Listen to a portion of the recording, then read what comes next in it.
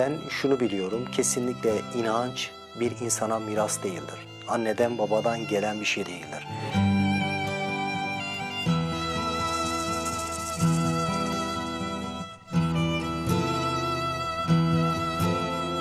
Bunu düzeltecek hiçbir şey yok. Yani istediğim kadar iyilik yapayım. iki dakika sonra ölürsem ne olacak? Küçüklüğümden beri elimde kırbaç olan bir Allah var. Kız çocuğu olduğum için okutulmadım, ezildim ve bir de ben düşündüm bu Allah erkeklerin Allah'tır. Ben niye tapınacağım?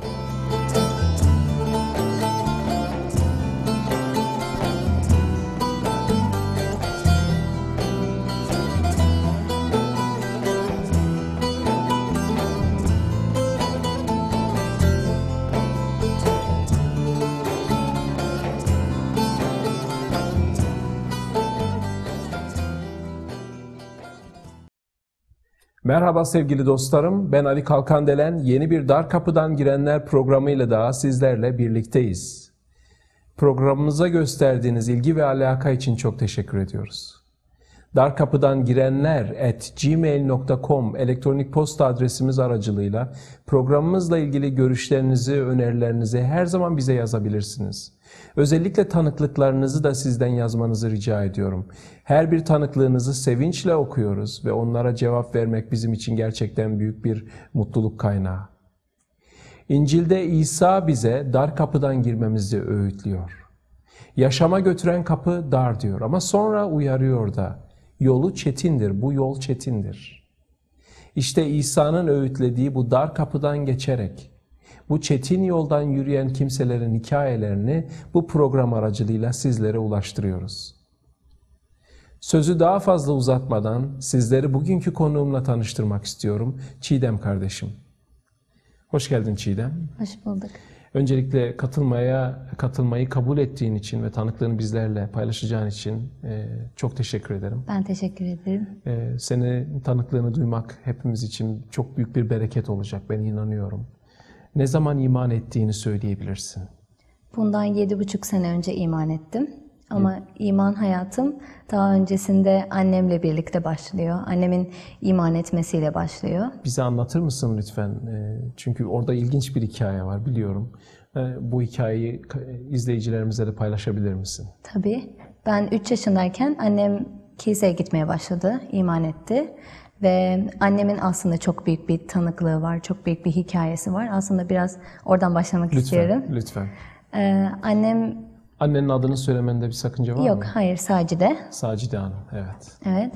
Annem e, bundan bir 20 sene öncesine kadar e, hiç Tanrı ile ilgili bir ilişkiye sahip değildi ve onun annesi Ortodokstu, Rus ve dedem Arap'tı. Birlikte Van'a yerleşiyorlar ve annem orada doğuyor. Annem sonra babamla evleniyor ama Kuma olarak geliyor. Van'da, Van'da Evet, oluyor bu. Van'da oluyor. Kuma olarak geliyor. Ondan sonra birlikte İzmir'e yerleşmek istiyorlar ve babamın resmi eşiyle annem üçü birlikte İzmir'e geliyorlar ve abimle birlikte ve onların çocukları hep birlikte İzmir'e yerleşiyorlar. Annem başka bir evde kalıyor. Babam onun için başka küçük bir ev alıyor ve kendisi için başka bir ev alıyor. Annem abimle birlikte orada yaşamaya başlıyor. Sonra ben doğuyorum ve babam da başka bir yerde. Haftada bir, ayda bir gelip bizi görüyordu. Ve sonra e, annem okuma yazma bilmiyordu. Ve alt komşumuzla tanıştı. Alt komşumuzla tanıştıktan sonra o bayan başka biriyle tanıştırdı onu. Ve birlikte Türkçe dersi almaya başladılar. Yabancı bir bayandan.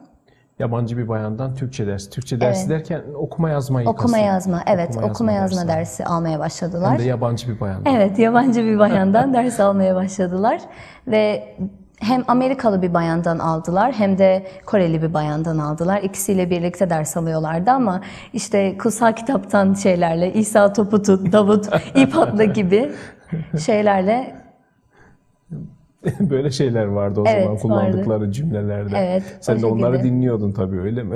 evet yani çok fazla götürmüyordu ama ve sonra o bayanın eşi bunu kabul etmedi çünkü yani o zamanlarda çok fazla rahat değildi şimdi şimdiki gibi Ee, insanlar çekiniyorlardı bu yabancılardan işte Hristiyanlık tarzı şeylerden korkuyorlardı bu yüzden adamın e, hani hoşuna gitmedi yabancıların eve girip çıkması.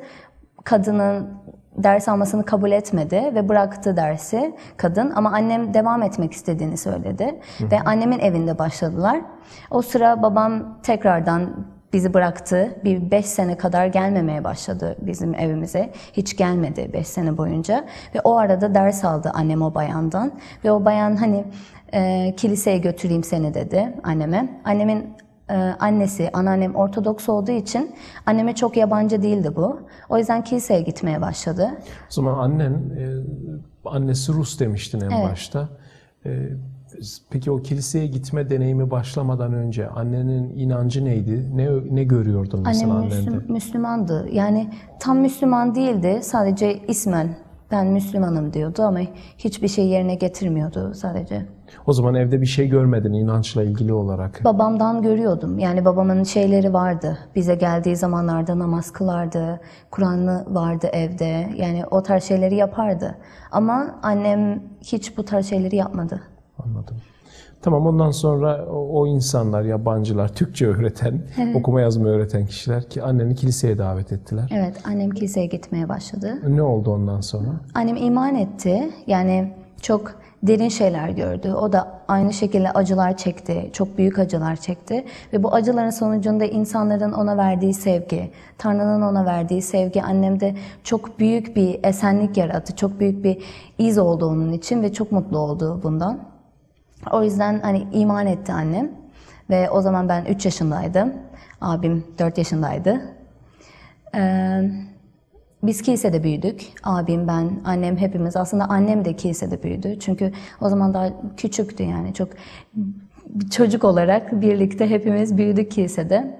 Yaş olarak kastetmiyorsun mutlaka ama dünya görüşü yaş olarak da mı küçüktü? Yok. Yani dünya görüşü olarak değil. Normal yani Rab'de çok küçüktü. Çok küçüktü onu. Birlikte büyüdü. Evet. Evet, sizler de beraber büyüdünüz o zaman kilisenin içerisinde. Evet, onu kilisede büyüdük. Nasıl devam etti? Sen çünkü senin hikayen de oradan sonra başlıyor Evet, herhalde. benim hikayem oradan sonra başlıyor. Benim için iman etmek, iman etmemek arasında bir şey yoktu. Çünkü babamın yaptığı şeyleri görüyordum. Çok acı dolu şeyler. Annemin verdiği şeyleri görüyordum. Daha mutluluk, daha sevgi. Ve ben hep imanlıyım diye düşündüm kafamda. Yani hiç iman için bir şey yapmak gerekmiyor.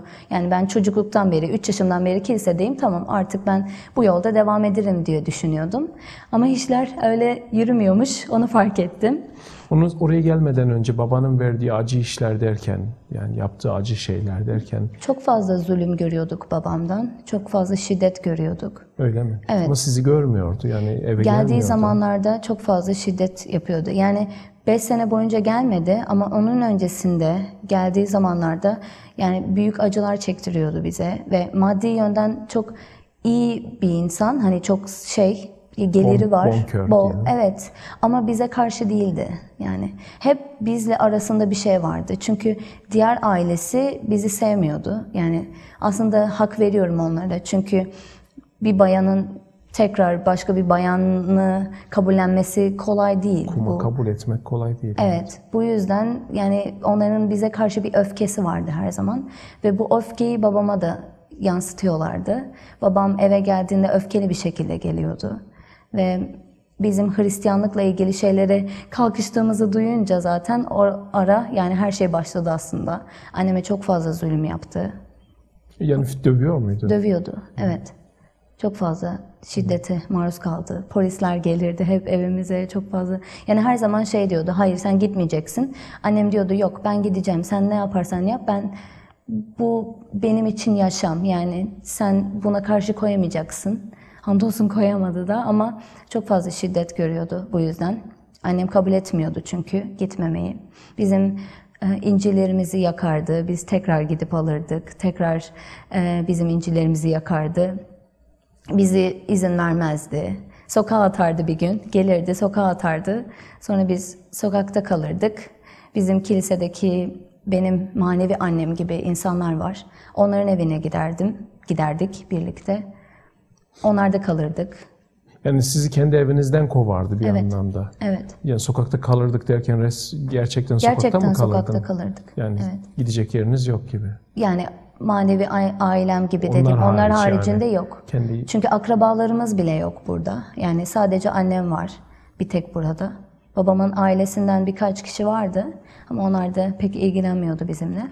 Ve abin kaç yaşındaydı? Aranızda kaç yaş fark vardı? Bir yaş var. Hı, O zaman çok yani o zaman akrandınız neredeyse. Evet. Biz çok iyi arkadaş olarak büyüdük.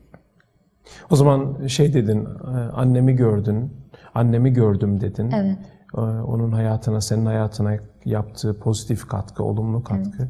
Bunun yanı sıra babanı, aslında o da o da senin için herhalde bir inancı mı temsil ediyordu? Öyle düşündüm. Yani ge- gerçek bu diye düşündüm. Çünkü bak bir tarafta daha kötü şeyler var, bir tarafta daha iyi şeyler var. Yani hangisini seçersiniz? Ben iyi olanı seçmek istedim ama bunu seçmek için bir şey yapacağımı düşünmedim. Yani yapmam gerektiğini Yapman düşünmedim. gerektiğini, doğal gibi gelişti sana. Evet, Sen doğal evet, olarak şekilde. oradaydın gibi geldi Evet, sana. öyle Ama geldi. sonradan öyle olmadığını da öğrendin e, ilerleyen zamanlarda. Peki e, gördün onu ve artık kilisedesin. Ben de bir Hristiyanım gibi Büyüdüm. e, büyüdün ya da Hristiyan olduğunu düşünüyorsun. Sonra nasıl gelişti hayatın? Sonra biz e, yani kiliseye gidiyorum. Çok eğlenceli zamanlar geçiriyorum. Çocuklar için bir sürü aktiviteler var. Çok eğleniyoruz birlikte, abimle birlikte. Çünkü unutuyoruz kilisedeyken acıları, dertleri unutuyoruz. Ve bu bizim için çok büyük bir esenlik kaynağı. Ve daha sonra biz e, Van'a gittik. Annem, ben ve abim üçümüz. Oradaki akrabalarımızı ziyarete. Benim kuzenlerimle aramda çok büyük bir ilişki var, çok büyük bir bağ vardı. Biz oturup sohbet ederdik saatlerce, sabahlara kadar birbirimizi çok seviyorduk. Hala seviyoruz. Ee, kuzenlerimle hani onlara söyledik biz iman ettik, biz Hristiyan olduk diye. Onların verdiği tepki yani bizi seviyorlardı, kırmak istemiyorlardı, çok kaba davranmak istemiyorlardı. Ama çocuk sohbetini bilirsiniz. Yani çok saf ve temizdir. Her şey çok dobra bir şekilde söylenir. Biz kuzenlerimle oturup konuştuğumuzda onlar bana çok yaralayıcı şeyler söylediler Hristiyanlıkla ilgili. Aslında benim kafamda bazı şeylere çok büyük soru işaretleri oluşturdu. Ee, onlar bana işte Hristiyanlığı... Hristiyanlıkla ilgili soru işaretleri oluşturdu. Evet, evet. Onlar Hristiyanlığı neden seçtin diyorlardı. Bana Hristiyanlık hakkında anlatır mısın diyorlardı. Biz de işte ben de tabii diyordum, anlatıyordum onlara. Ve e, onlar da Müslümanlık hakkında şeyler anlatıyorlardı bana. Ama onların söylediği şeyler daha çok yaralayıcı şeyler oldu bende. Çünkü çok kaba şeyler söylüyorlardı Hristiyanlık hakkında. Ve en son bir sorusu, onlar, yani onların bir soruları beni çok etkiledi. Ee, bunca Türkiye'de bunca insan var. Bir avuç Hristiyan var. Bunun diğer herkes Müslüman. Bunun bir- nedeni olmalı dedi. Yani eğer gerçek o olsaydı, Hristiyanlık olsaydı o zaman herkes Müslüman olmaz, Hristiyan olurdu dediler. Ben gerçekten hani kafamda soru işareti oluşturdu bu benim. Neden çoğunluk Müslüman dedin o zaman? Evet, neden çoğunluk Müslüman dedim. Yani babama bakıyorum çok daha kötü şeyler, karamsar şeyler var. Ama onların söylediği soru gerçekten mantıklı geldi. Yani çocuk aklı çok fazla anlayamıyorsunuz ne demek istediklerini ama gerçekten soru işareti oldu bende. Ve ben bunu düşünmeye başladım Van'daki sürede. Bir ay kadar bir sürede kaldık orada. Düşündüm ama yani beni Müslümanlığa iten bir şeyler oldu. Yani ben Müslümanlığa gideceğim, Müslüman olacağım. Çünkü yani haklılar. Türkiye'de bunca insan var ve hepsi Müslüman. Sadece bir avuç Hristiyan biz mi doğruyuz diye düşündüm. Ve Müslümanlığa yöneldim. Müslüman olmaya karar verdim. Kaç yaşındaydın o zaman? 12 yaşındaydım. Burada duralım istersen bir ara verelim. Aradan sonra tekrar Evet. devam edersin. Evet sevgili dostlarımız Dar Kapıdan Girenler programında Çiğdem kardeşimizin hikayesini dinliyoruz. Şimdi bir ara vereceğiz. Aradan sonra tekrar kendisinden dinlemeye devam edeceğiz.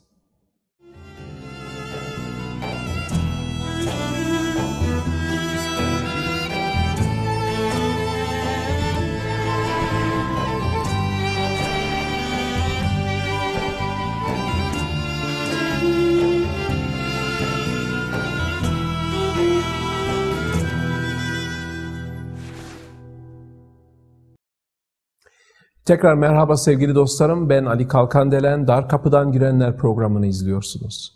Aradan önce Çiğdem kardeşimizin hikayesini dinliyorduk kendisinden. Şimdi kendisine döneceğiz ve hikayesinin geri kalanını dinleyeceğiz. Evet, e, ilginç bir ailede büyüdün. Annen Kumay'dı e, ve bir kardeşim var, erkek kardeşim var. Van'dan İstanbul'a taşındınız.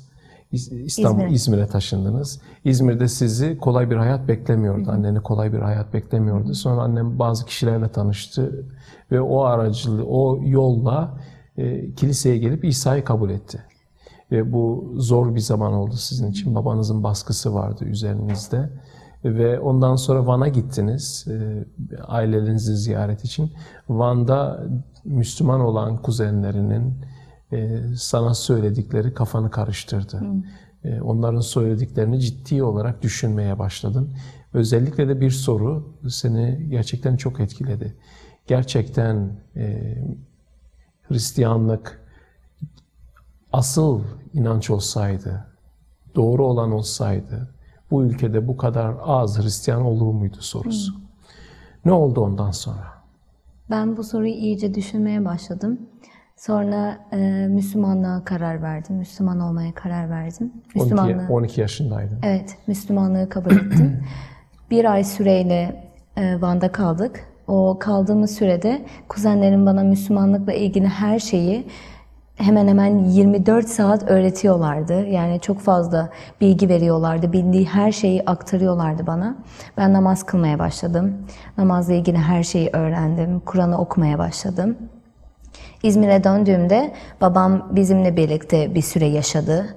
Biz hani babamla annem çok iyi olacak diye düşündük ama yani tabii bilirsiniz olmadı ama e, birlikte yaşamaya karar verdiler. Babam daha az gidiyordu diğer eşinin evine. E, biz babamla bir, babama söyledim Müslüman olduğumu ve o çok sevindi, çok mutlu oldu. Annem se- biliyor muydu? Annem biliyordu ama yüreğinde çok büyük acı vardı annemin benim Müslüman olmama karşı. Çok büyük feryat ediyordu, ağlıyordu neden benim kızım Müslüman oldu diye. Yani çok bilirsiniz yani gerçeğin yolundan gitmek varken bunu seçtiğim için çok acı çekiyordu annem. Aynı şekilde abim de öyle. Ve ben babamla birlikte e, Müslümanlıkta ilerlemeye başladım. Babam bana dersler veriyordu. Aynı şekilde birlikte Ramazan ayında e, teravih namazlarına gidiyorduk. Birlikte camiye gidiyorduk. Namaz kılıyorduk. Ve hemen hemen her gün birlikte babamla zaman geçiriyorduk. Müslümanlıkla ilgili şeyleri ondan öğreniyordum. Ama bu arada kilisedeki hiç kimseyle görüşmeyi kabul etmiyordum. Onlarla görüşmek istemiyordum. Çünkü gözümde onların hepsi yani çok kötü işler yapan insanlar gibiydi. Aynı şekilde annem ve abim de beyni yıkanmış insanlar gibiydi.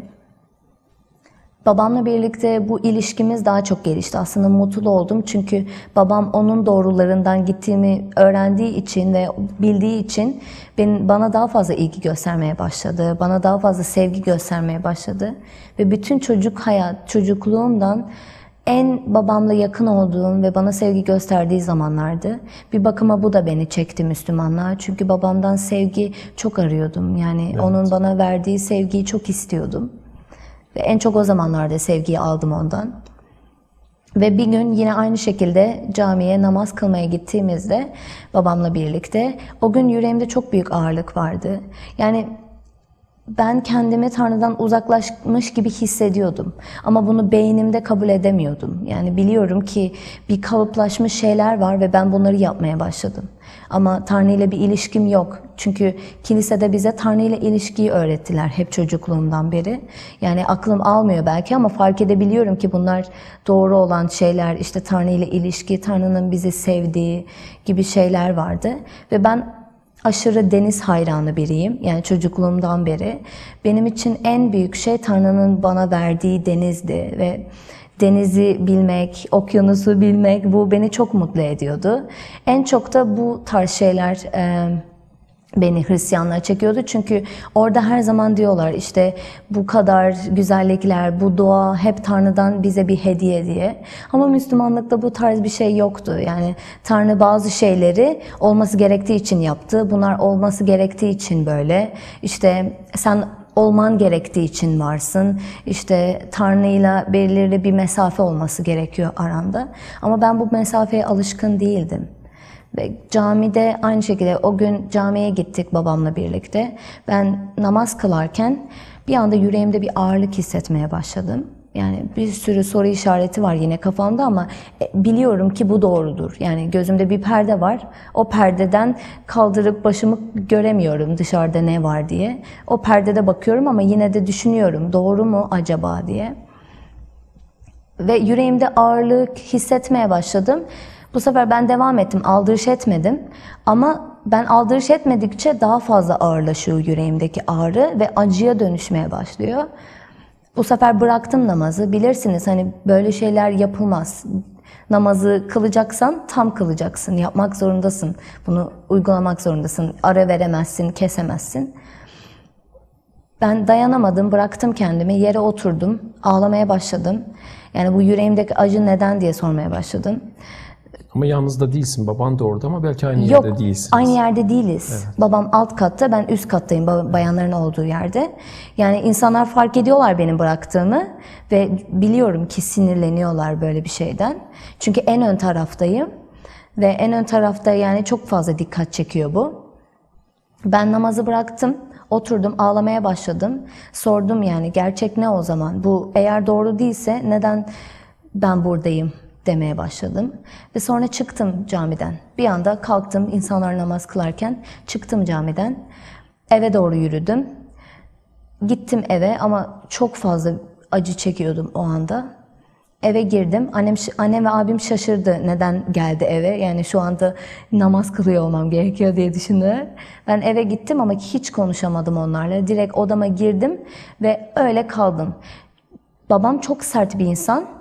Eğer ki böyle bir şey yaptığımı bilirse yani işin sonucu gerçekten çok ağır olacak ve bunun bedelini çok ağır ödeyeceğimi biliyordum.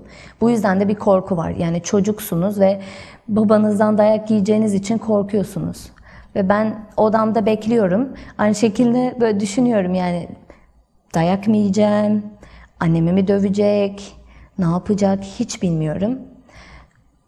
Odamda bekledim, babamın sesini duydum. Babam içeri girdi, direkt beni sordu. Çünkü o caminin çıkışında beni bekler, biz birlikte eve gideriz babamla.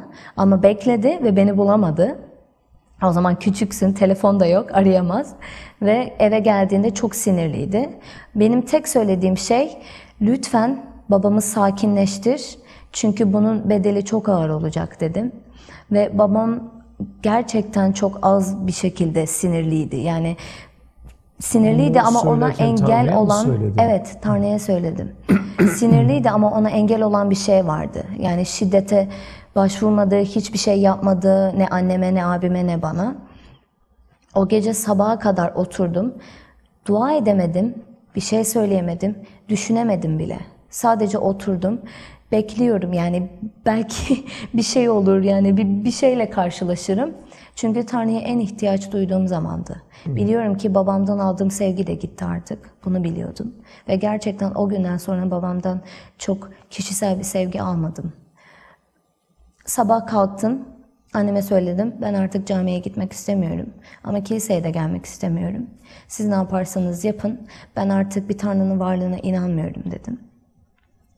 Bir süre o şekilde devam ettim ama yüreğimde hala bir şeyler var. Yani biliyorum Tanrı gerçekten var. Ama ben kendime kabul edemiyorum.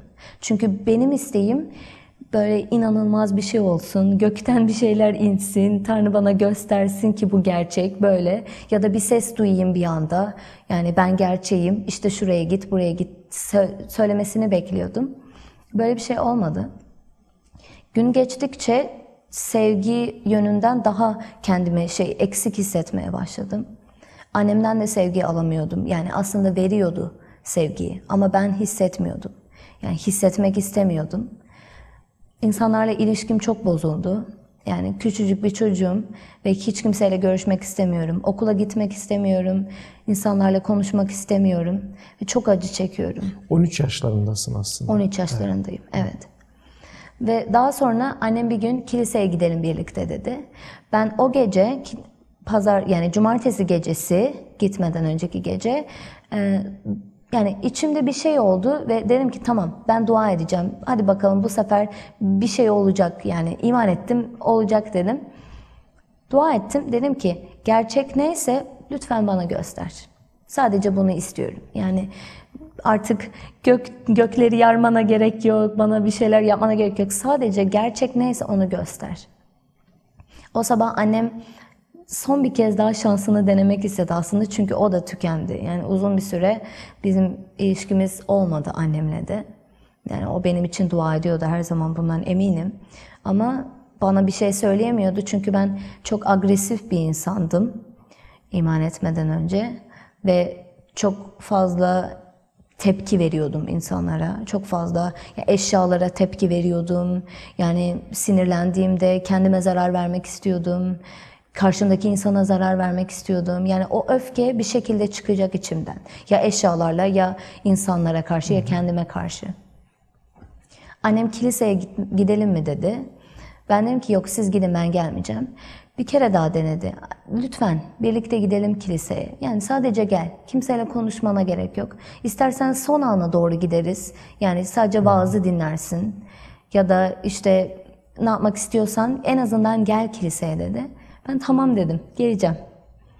Gittik ama dedim ki eğer ki orada kalkıp bir bana laf söylerse ya da işte sen işte Müslüman olmuşsun, ha geri mi döndün, kiliseye geldin tarzında bir şey konuşursa, yorum yaparsa hayatımla ilgili çok kırıcı kırıcı olacağım dedim anneme.